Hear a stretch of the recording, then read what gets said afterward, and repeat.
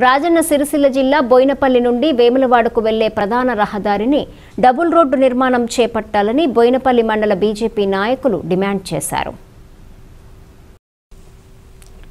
ఈ కార్యక్రమంలో బీజేపీ మండల ప్రధాన కార్యదర్శి ఉదారి నరసింహాచారి కిసాన్ మోర్చా మండల అధ్యక్షులు శ్రీనివాస్ రెడ్డి నాయకులు మినుకుల శ్రీనివాస్ శ్రావణపెల్లి అనిల్ పాల్గొన్నారు.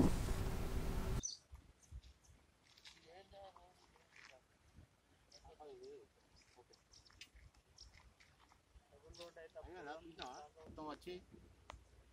రెండు సార్లు వచ్చి అదేవిధంగా మనకు ఈ యొక్క రాజన్న సిరిసిల్ల ఏర్పడి మూడు సంవత్సరాలైన సందర్భంగా మొన్న ఎన్నికల్లో మన స్థానిక శాసనసభ్యులు శంకర్ రవిశంకర్ గారు బోయినపల్లి నుంచి వేములవాడకు రోడ్డును అంబేద్కర్ సాక్షిగా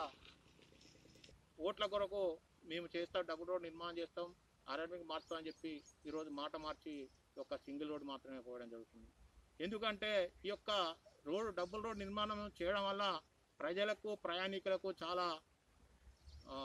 మంచి ఫెసిలిటీ ఉంటుంది కాబట్టి ఈ యొక్క రోడ్డు గుండా బోయినపల్లి మండలంలోని పేరే కాకుండా మరియు గంగాధార పేడపల్లి అక్కడికి వెళ్ళి కూడా ఈ యొక్క వేములవాడ రాజ రాజేశ్వర స్వామి టెంపుల్కు ఇదే దారి కూడా వెళ్తారు కాబట్టి ఇప్పటికైనా ఈ యొక్క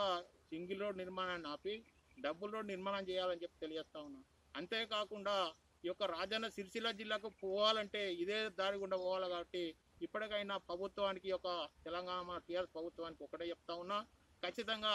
స్థానిక శాసనసభ్యులు శంకర్ రవిశంకర్ గారికి చెప్పేది ఏంటంటే మీరు ఇప్పటికైనా కూడా ఈ యొక్క డబ్బుల నిర్మాణం ఏర్పాటు చేసి ప్రజల యొక్క అవసరాలు తీర్చాలని చెప్పి తెలియజేస్తూ ఈరోజు బీజేపీ మండల పక్షాన చేయనట్టయితే ఉద్యమం చేస్తామని చెప్పి తెలియజేస్తూ జై బీజేపీ జై నరేంద్ర మోడీ జై కన్యా